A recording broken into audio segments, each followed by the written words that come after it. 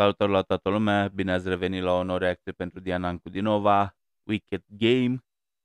Bineînțeles că ea cântă super tare piesa asta, dar haideți să auziți voi ca să vă convingeți. The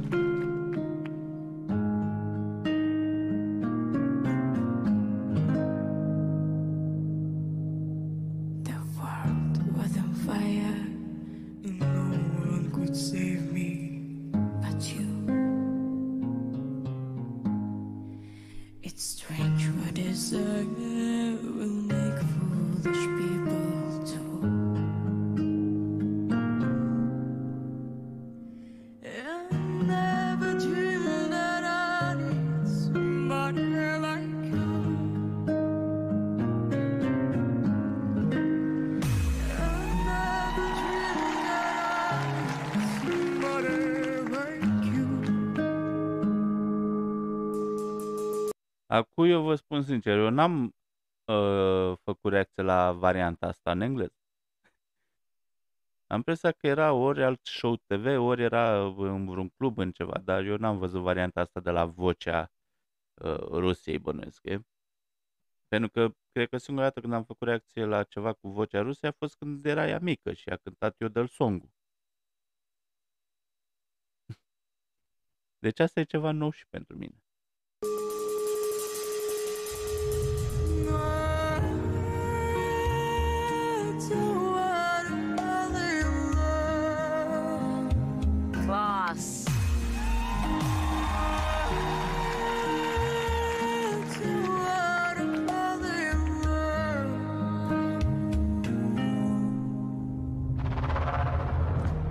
what we did ain't too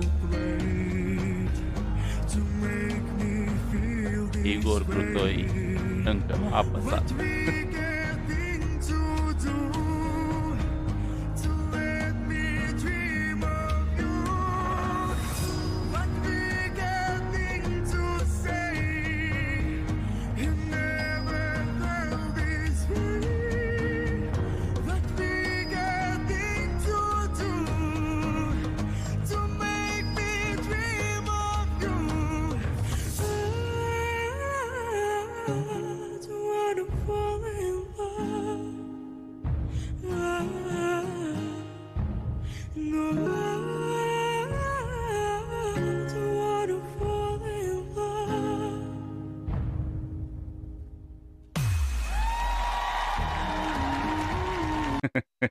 A ținut-o în suspans.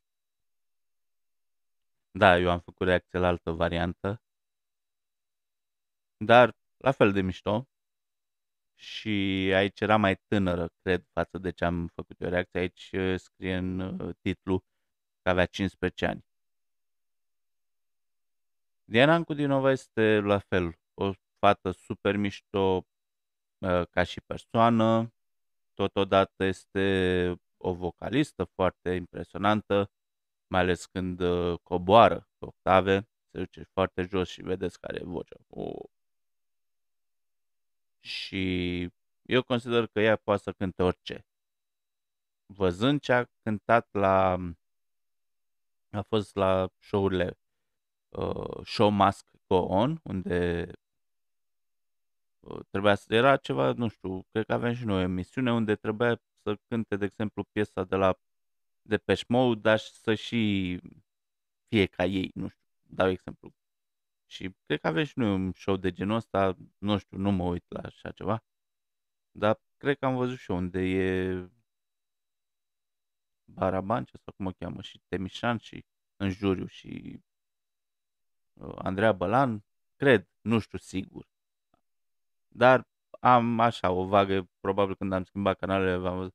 Cred că ăsta era show Must Go On, plus a fost și la show-ul Masca, cum am avut și noi, unde trebuie să ghicești cine e în spatele măștii. Și a arătat acolo că poate să cânte absolut orice stil, orice voce. E fenomen.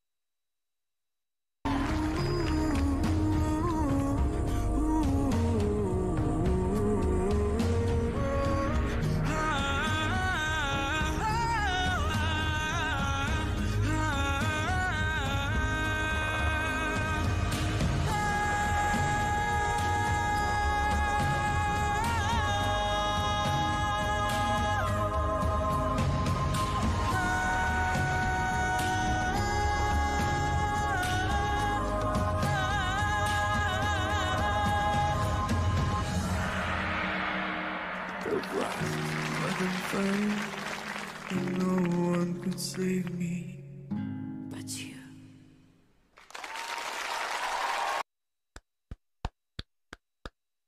De asta vreau să fac cât mai multe reacții pentru Diana Ancudinova, pentru că are o voce superbă și știe să-și o pună în valoare. Și știu că acum are din ce în ce mai mult succes, chiar dacă pentru artiștii din Rusia acum este mai greu, știți că ei nu mai sunt monetizați pe uh, diferite platforme, uh, plus că na, sunt cam, m, cum să zic, shadow band sau banați, adică nu mai sunt promovați pe diferite platforme sociale, ceea ce e o prostie. Ce treabă au, în fine, nu intru în politică. Nu vreau să intru pentru că după aia mie că mă apuc și spun lucruri. Și sper că o să ajungă Diana să aibă cât mai mulți fani și în România. E o persoană, este un artist complet care are voce, are carismă, are personalitate. Eu zic că merită să aibă cât mai mulți fani și în România. Totodată, sper că problema cu comentariile s-a rezolvat. Dacă s-a rezolvat, scrieți în comentarii niște sugestii pentru artiști din România la care ați vrea să mă vedeți uh, că fac reacții. Eu nu prea am ascultat muzică românească, deci oricum o să fie cum fac și pentru trupele din afară, reacție așa la prima audiție, nu... Vă spun ce am ascultat, Mafia. Dar nici Mafia n-am mai ascultat, nu știu dacă am ascultat, dacă au mai scos ceva nou. După ce au scos, nici nu mai știu cum se numește ultimul album. Oricum, de la Mafia, favorit a fost de cartier și gata. Um, de asta, mi-ar plăcea să îmi dați niște sugestii și de artiști români, indiferent de stilul de muzică. Sper că v-a plăcut. Dacă v-a plăcut, eu vă recomand să vă abonați la, la canalul lui Diana Ancudinova. Ăsta e pe un canal cu Stas Vagias, dar uh, puteți să căutați Diana Ancudinova și să vă abonați. Eu doresc la toată lumea multă sănătate și o zi cât mai frumoasă. La revedere!